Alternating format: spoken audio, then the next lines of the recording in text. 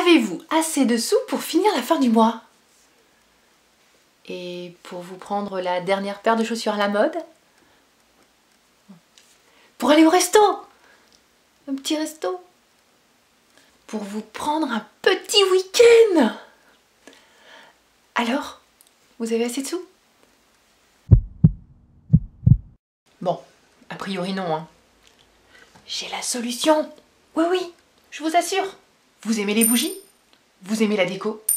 Est-ce que vous aimez les gens?